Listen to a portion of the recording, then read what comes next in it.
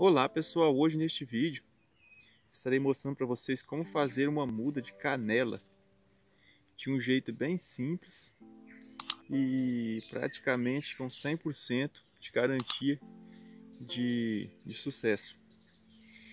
É, eu estarei utilizando aqui para fazer essa muda, gente, o método da alporquia. É um, um, é um dos métodos que eu considero um dos melhores para se fazer mudas de canela. Fiquem aí, pessoal, acompanhem esse vídeo, que no final desse vídeo eu vou mostrar para vocês uma muda dessa daqui que eu fiz há uns três meses, que já está bem enraizada. Para fazer a muda utilizando esse método, eu vou fazer um corte aqui, ó, na madeira. O galho não precisa ser um galho muito grosso, mais ou menos a grossura de um dedão assim, gente, ó é o suficiente. O que vocês vão precisar de fazer, vocês vão ter que fazer um corte assim embaixo. Desse jeito, cortando a casca, gente.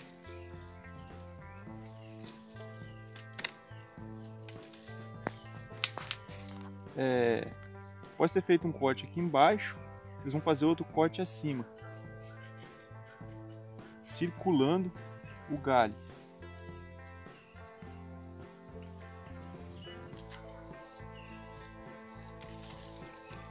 Cortar bem, gente, até chegar na madeira da galha. Depois vou fazer um corte, vocês vão fazer um corte assim e retirar a casca. Após ter retirado a casca, gente, vocês vão fazer assim, ó, com a ferramenta aí, com estilete ou com uma faquinha ou canivete. Raspar bem assim para impedir totalmente aqui o fluxo de seiva nesse esse galho aqui que vai ser nossa muda.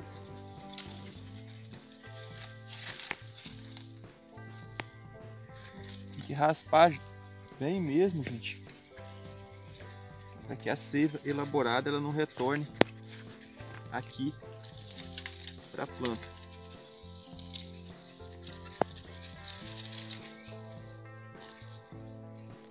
Após ter feito isso, gente, é, eu particularmente gosto de usar isso daqui, ó. Isso aqui é musgo. Mas vocês podem utilizar terra, vocês podem utilizar areia. Eu gosto de utilizar o musgo porque uma vez que ele é umedecido desse jeito aqui, ó, eu molhei ele na água, ele se mantém úmido por aproximadamente três meses. Não tem a necessidade de ficar molhando para acontecer o enraizamento aqui. Eu vou colocar esse musgo aqui, gente, ao redor do local onde eu fiz o anel.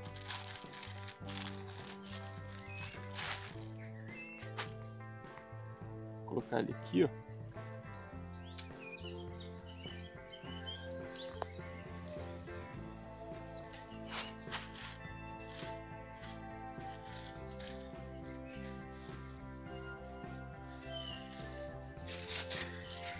E agora, pessoal, eu vou cobrir isso aqui, ó.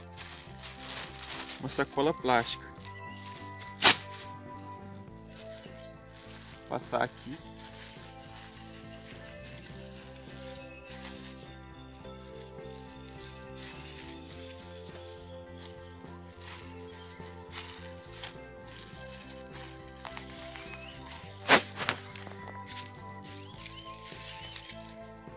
amarrar um pouco com a fita para não cair.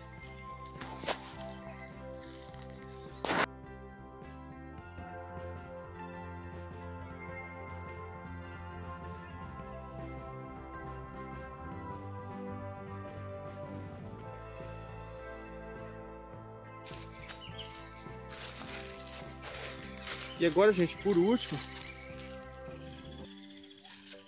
eu vou...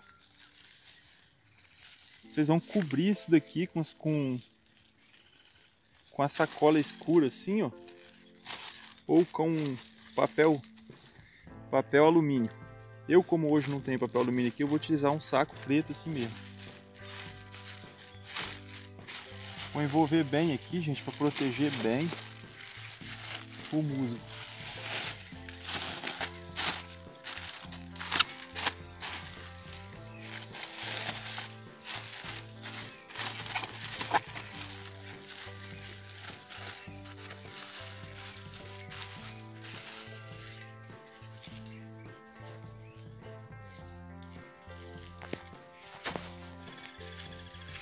Amarrar bem nessa parte de cima aqui.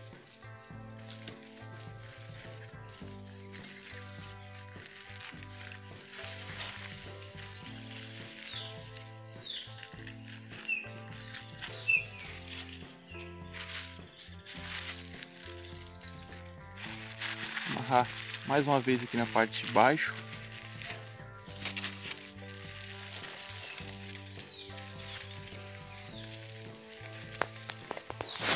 Aqui, gente, é 100% de garantia. É o melhor jeito que tem de fazer muda de canela, muda de louro. Manga, eu já fiz muda de manga, de carambola. Fiz várias mudas de vários tipos de, de, de frutífero utilizando esse método.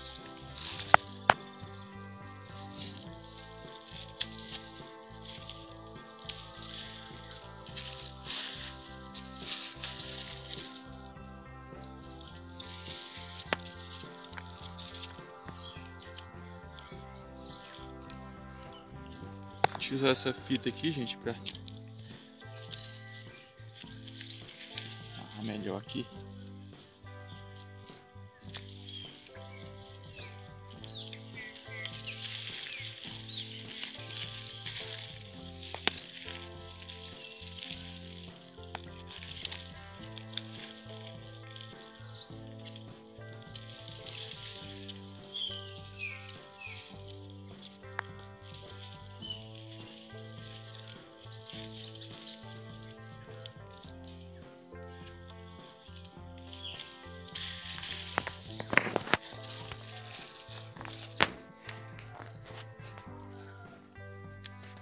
E é isso, gente. Tá feito aqui. Finalizei aqui a alforquia na muda no pé, no pé de canela. Essa parte aqui, gente, daqui uns três meses, daqui para frente, é a parte que será a minha muda.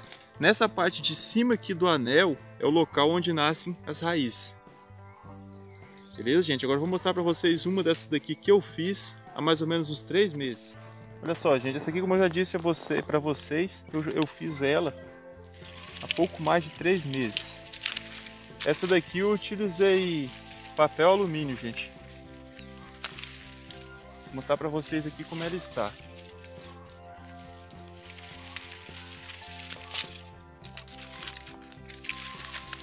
Tirar aqui esse papel alumínio.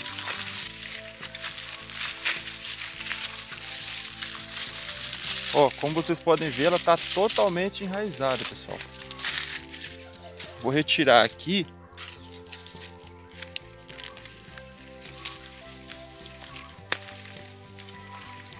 Vou mostrar para vocês, para vocês verem que realmente isso aqui funciona.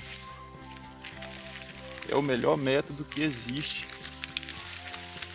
de se fazer mudas de vários, vários tipos de plantas.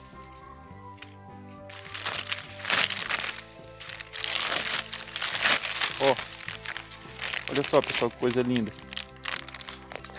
Isso aqui são, são, são raízes, gente, ó.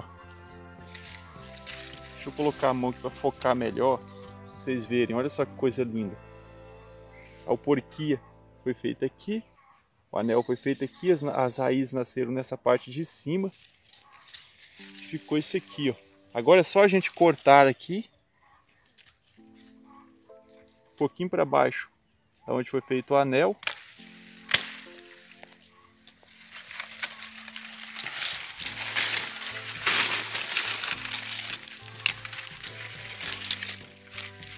Olhem só, completamente enraizada.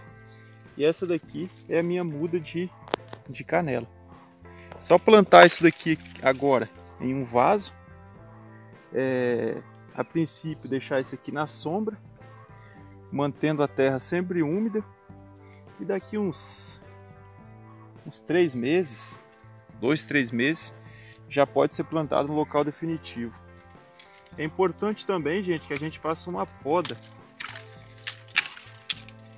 Quando a gente retira a nossa muda, mudas foram feitas por alporquia, é interessante que a gente retire esse excesso aqui, ó.